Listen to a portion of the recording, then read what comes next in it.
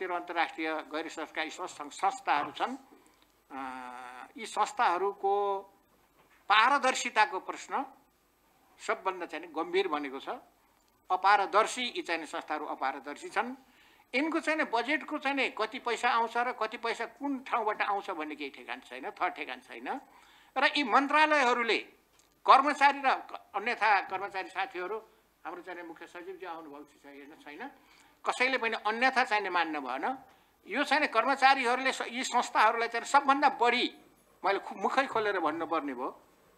सबभन्दा बढी झन्झटिलो बनाउने दुःख दिने अनि त्यसपछि अल्झाउने अनि त्यसपछि त्यसलाई चाहिँ रिङाउने घुमाउने रिगाई घुमाई फिराई गर्ने र त्यसले चाहिँ अपारदर्शिताको चाहिँ नि सङ्केत गर्छ भन्ने विभिन्न चाहिँ सङ्घ संस्थाहरूबाट पनि यो चाहिँ प्रश्न चाहिँ उठेको छ।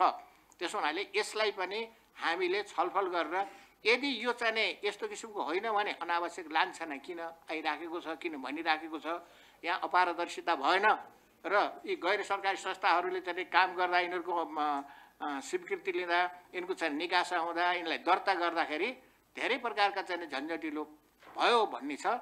यसलाई एकद्वार प्रणालीबाट सहजीकरण गर्नको लागि पनि यो कानुनमा परिमार्जन गर्नुपर्ने र यसलाई चाहिँ समृद्ध गर्नुपर्ने सङ्घीयता अनुसार समृद्ध गर्नुपर्ने आवश्यकता छ।